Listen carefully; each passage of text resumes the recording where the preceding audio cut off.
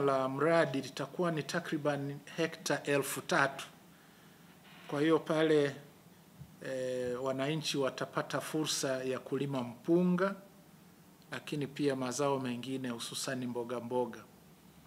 Kwa kwa kweli ni, ni neema kwa Tanzania. Badala ya kusubiri mvua tu, sasa tutakuwa na eneo ambalo tuna hakika ya kulima mwaka mzima.